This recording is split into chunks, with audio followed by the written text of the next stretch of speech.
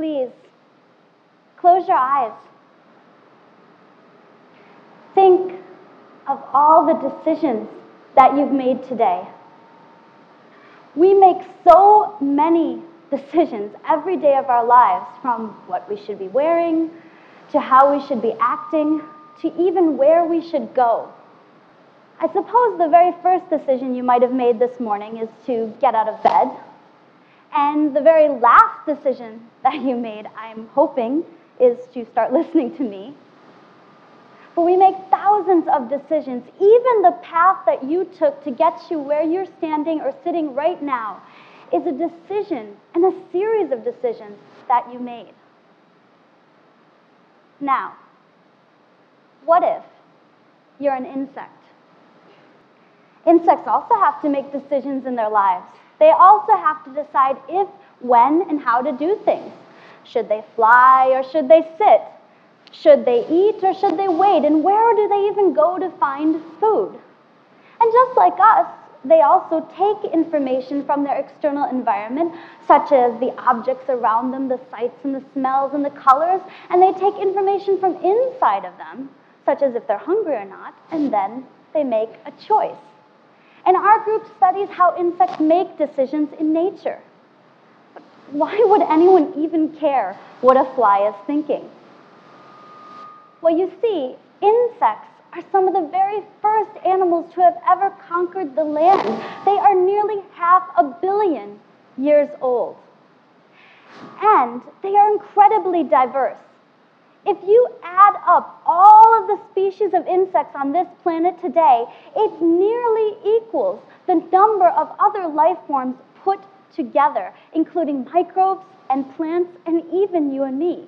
They're incredibly diverse.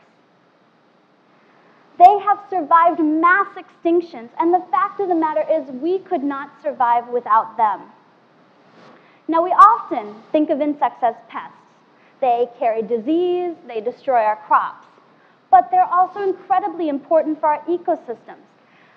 They perform essential ecosystem services such as pollination and also reducing waste, like these termites do.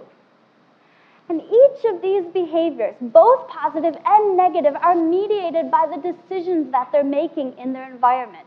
So we're interested in studying those decisions, not only to understand them, but to also understand ourselves and how our own brains can possibly make these choices every day. But the fact of the matter is, is we don't even know how a tiny insect brain that has only about 100,000 neurons makes decisions. So how can we possibly understand our own minds when we have 80 billion neurons? So how do we start understanding insects? Maybe we should start by thinking about how we understand each other. This photograph was taken by a wonderful photographer who was actually that day taking pictures of my daughter Grace. But that particular day, I'd had a pretty awful day at work. Everything had gone wrong. I had had so many mistakes, and I was just really feeling terrible. And so my daughter stopped. She stopped the photo shoot, and she came up to me, and she gave me what I most needed at that particular moment, which was a warm embrace. You see, Grace was practicing one of the most profound human emotions and that's empathy.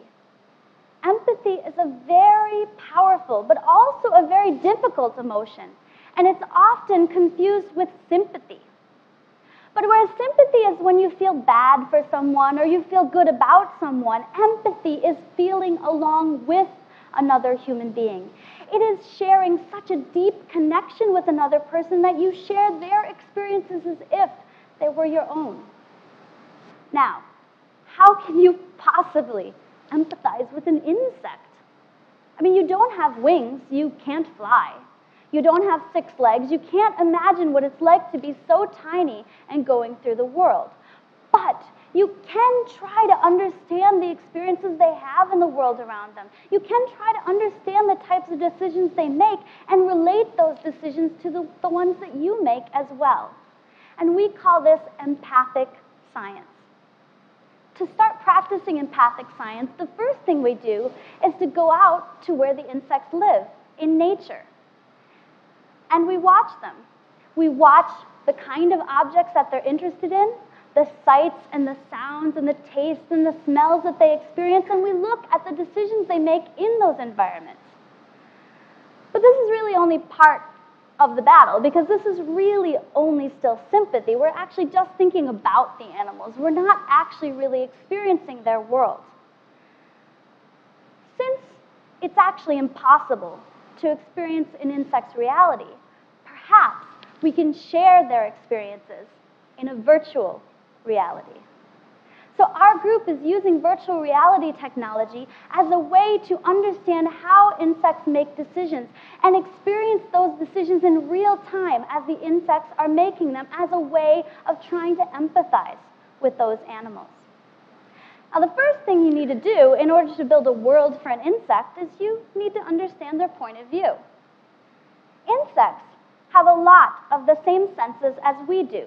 They can see, they can smell with those green antennae up there. They can taste. They can touch. And they can even detect vibrations around them. But you see, they don't experience those senses in the same way that we humans do.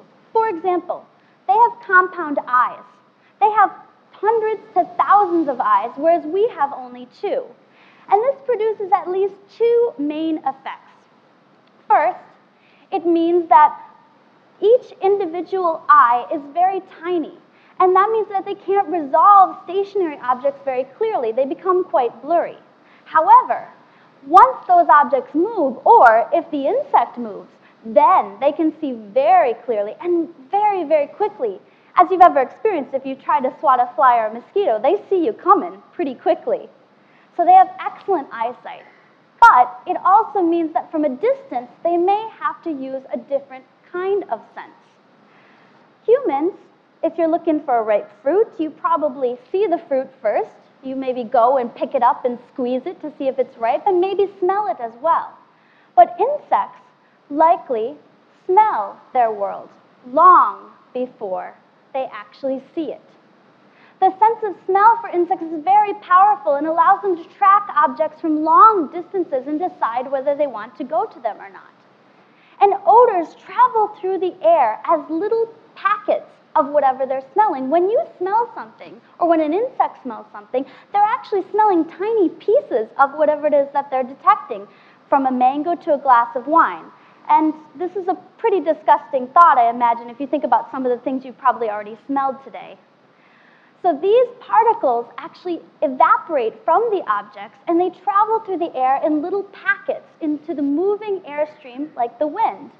And they travel much like smoke does. And the insect can detect the direction of the wind and detect those little packets and then follow it to find the object, which it then sees and sits on and tastes. So now that we understand a little bit more about an insect's point of view, we then need to build the world, which means we need an architect. So enter Pavan. Pavan, can you please stand up and say hello? Hello. Pavan's a graduate student in our lab, and I gave Pavan a nearly impossible task. I told him to build a world for an insect. And that's exactly what Pavan has done. So here's Pavan's insect world. The most important part of the world, of course, is the insect. And it's here. It's the tethered fly. Tethered means it's put on a little leash. It's held in place. This doesn't hurt the fly, but it does keep it from flying away, which is important because we need to see what it's doing. So we keep it in place much like we would be on the treadmill. We have a high-speed camera, which is able to film the behavior of the fly and we have a panoramic display. Now, besides seeing very quickly, insects can also literally see in the back of their heads, which means the world that we build has to wrap all the way around them. Unlike humans, which when we see VR, we usually have just goggles in front of our face and that's enough. The insects have to have their world all the way around them. We have a directional airflow, a wind, and that's important because it's needed to carry the odors that travel at high frequencies towards the antenna of the insect and give it a sense of smell and a sense of airflow. So now we put all of these different things in the world together and we allow the insect to make decisions. And this is what it looks like when they're making decisions.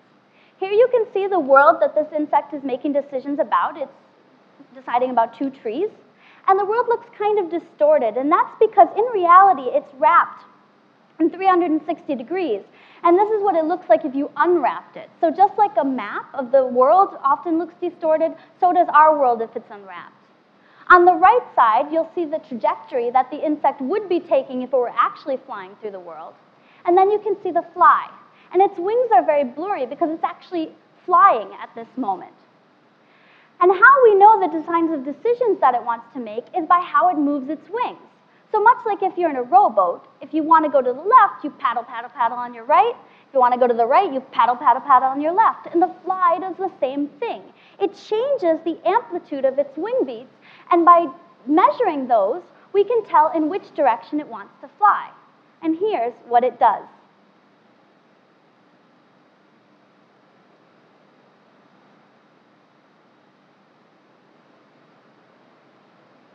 So here you can see this fly making the decision to fly to this apple tree, which is a good thing because it's an apple, apple fly, so it should like apple trees. And it's going in and around the branches and the leaves of those trees. And when it's about to hit one of those branches, it actually throws up its legs because it wants to land. But of course, there's actually nothing really there to land on. And that's how we know that it's actually experiencing a virtual reality. So now we are using this technology to try to understand how these organisms make decisions in the natural world by recreating it in a virtual world. And we try to see through their eyes and smell through their antenna how they're making decisions every day of their lives. And we feel that this is very important, not only for us to understand how any human brain could make decisions, but for a much more important reason.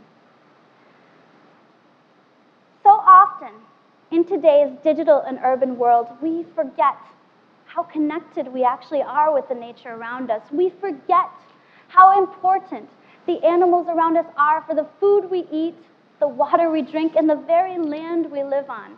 So I hope that when you leave me today, that you go outside.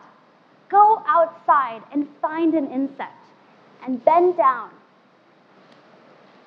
and you look that little creature straight in the eyes, that beautiful little animal, and you think about all of the decisions that it made to get where it is.